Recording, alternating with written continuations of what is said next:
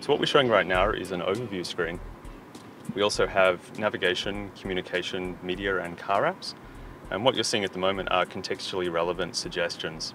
Um, in this case, we have a navigation card, so eight minutes to home, um, Sally, so a recent phone call that I received, and these are all just presented to me when I connect the phone. So this is Google Play Music. Um, if I hit play, you'll see the media coming through the car speaker system uh, and all the controls that I would expect to, to see from Google Play Music. Uh, here I have an overflow screen, um, so things like thumbs up, thumbs down, start radio, um, things that I would typically be able to do in Google Play Music on any of my devices. One of the things we're really excited by is all the third-party apps that we've got. So everything you see on this menu here are actually apps that are installed on my phone right now. So as I scroll through, I could pick from any of these, and what you'll see is that these applications actually have customized UIs. Um, so if I look at, say, Joyride, I'll see a very different menu to what we just saw in Google Play Music, but it's really easy for the developer to do this. So they get control of things like the color, the iconography, the menu structure, um, to provide an experience that's really like their app, but when in the car. And if we look at um, phone, you can see here people that I've recently called or received calls from. Uh, I can place calls to them really easily, so I can tap this person to place a phone call. So obviously you're in a car, you want to go somewhere.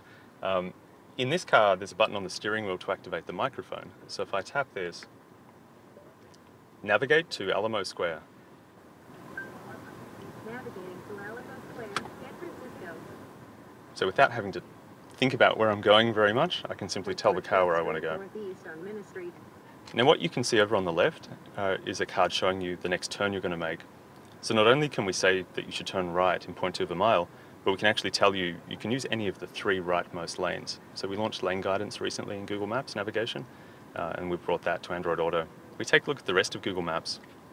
What we've done is taken aspects of the product that make it really easy to use and brought them to the car. So for example, under suggestions, I can see things like home or work, which I can just get to really easily. Um, businesses I might have searched for and interacted with recently in Maps. Um, I can also pull up categories. Uh, for example, um, places I might want to park or get gas, which is really easy to do while you're in the car. And then finally, we can turn road traffic on or off for the entire system. And then if you're parked and it's safe to do so, you can pull a keyboard up and um, start typing just as you would on a mobile phone. So I could start typing SFO to head to the airport and you'll see a suggestion can appear and then you can navigate there. And of course I can say anything that I would to Google, so I can press the, the button, find Starbucks. Here are the listings for Starbucks within 0.7 miles. and then I can see those in Google Maps and navigate there really easily. So if I receive a text message while I'm driving, uh, I'll get one of those heads up notifications at the top. The message gets read out, and I can tap the microphone button and then say reply. It's up to the car manufacturers how they want to uh, hook up the controls on the steering wheel into the car system. So in this particular car, the, the microphone button is hooked up, which uses the car's microphone. Um, but you could have other cars with different controls that control different aspects of the product. And from a developer's point of view, that's really a great thing because when I build a music app, I don't have to think, does it have a touchscreen, does it have a rotary dial, does it have a D-pad? I can simply build the app once and not have to worry too much about the controls.